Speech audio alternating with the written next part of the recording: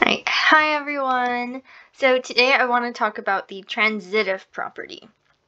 So the transitive property states that if you have um, a number a, and let's say it's equal to a number b, or it's equal, in transitive property, unlike the other properties that we worked on, this b could actually be an expression. Alright, so it can be an expression. So if you have a equals b, and you have b equals c, then you can infer or you can conclude that a is going to equal c. Right? So transitive property makes you lets you make this conclusion that a can eventually equal c because a equals b and then b equals c and then a equals c. So it's basically like you're going through a like train, right? All right. So because one destination will lead you to the other destination. Alright, so let me put this into context for you. So let's say that I have a number x, I'm going to call my ax, and now this b, now this is what I meant by an expression.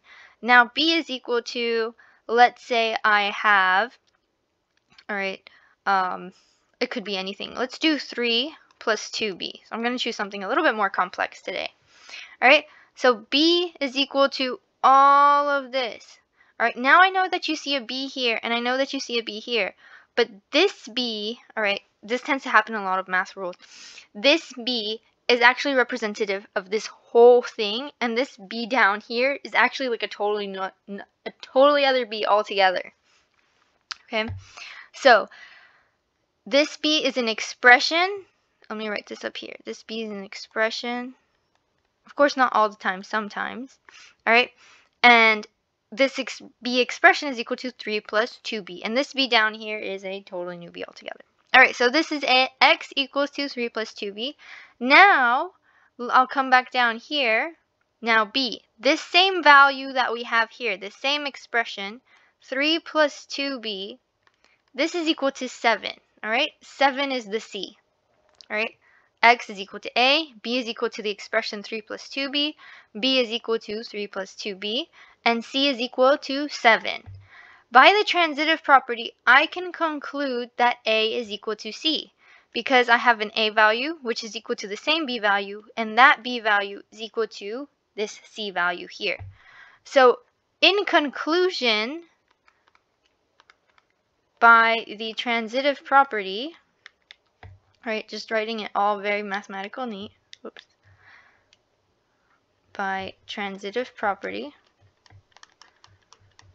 we have, right, this is the imply signal. Uh, I can say that x is equal to 7. Alright? Because, again, it's creating that train. Um, x is equal to 3 plus 2b, 3 plus 2b is equal to 7. So you can conclude, in conclusion by transitive property, that's why I wrote that down there, x is equal to 7. Right? I hope this video has helped you learn some of the transitive property. I hope it helped you understand it as well. thank you so much for watching. And I wish you all the best in your math life. Thank you.